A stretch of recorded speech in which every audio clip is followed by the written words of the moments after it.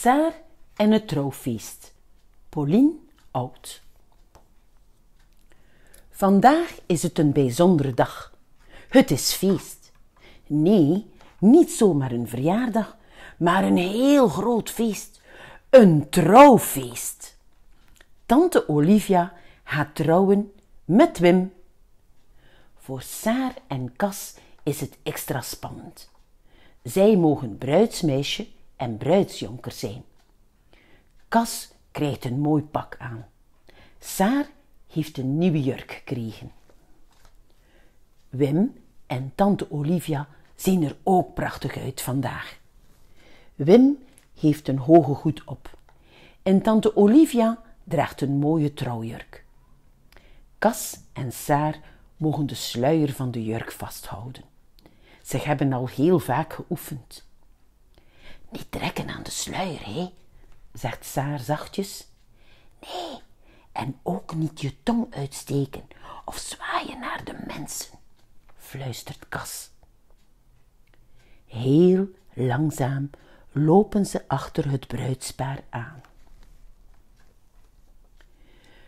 We zijn hier vandaag om te vieren dat Olivia en Wim elkaar zo lief vinden dat ze altijd bij elkaar willen zijn, zegt de meneer die vooraan staat.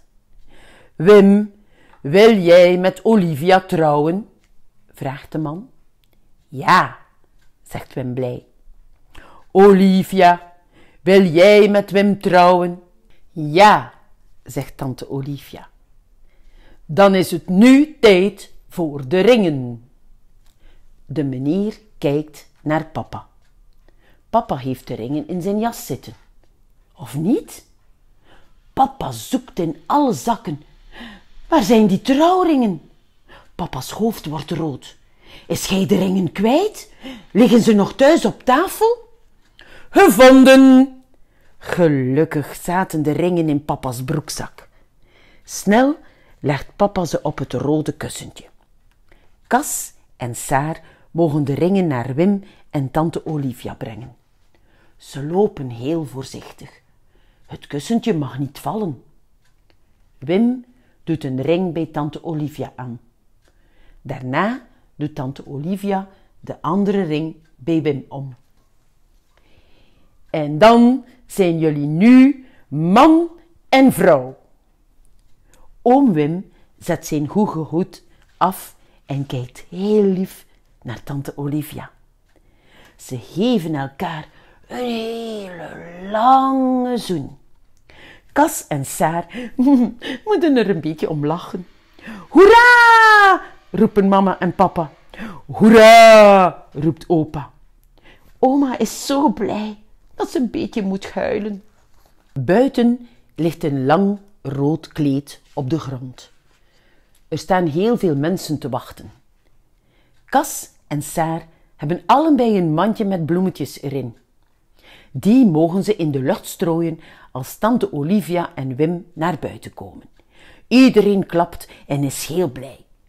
Opa zwaait en doet een klein dansje. Ga maar netjes dicht bij elkaar staan, zegt de fotograaf.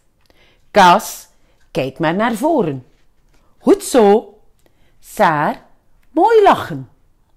De fotograaf maakt heel veel foto's. Kas en Saar moeten steeds blijven lachen. Wat duurt dit lang? Maar dan is de fotograaf eindelijk klaar en gaan ze naar de grote feesttent in de tuin. Nog nooit heeft Saar zo'n mooie taart gezien. Het zijn er wel drie, zegt Kas. Bovenop de taart staan twee popjes. Die lijken precies op Wim en tante Olivia.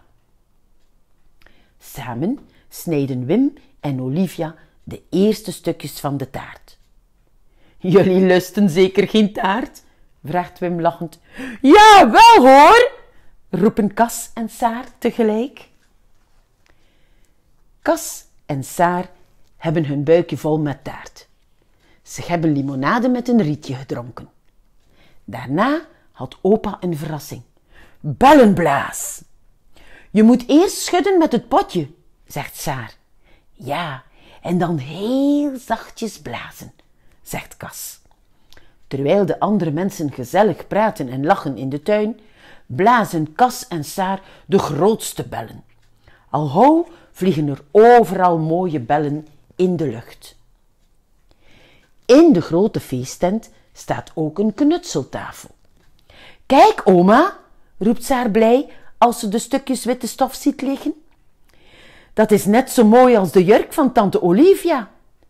Hm, roept Cas, ik maak een hoed, net als Wim. Zullen we trouwen?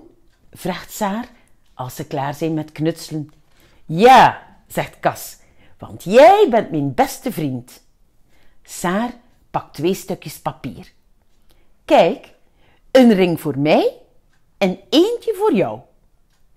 We zijn getrouwd, roept Cas en hij geeft Saar een dikke zoen. Het trouwfeest duurt heel lang. Er zijn frietjes en er is ijs. Als het donker wordt, gaan de lampjes aan in de feesttent.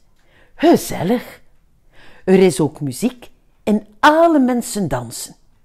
Cas en Saar dansen vrolijk mee. Ze mogen lekker lang opblijven vanavond. Wat een fijn trouwfeest!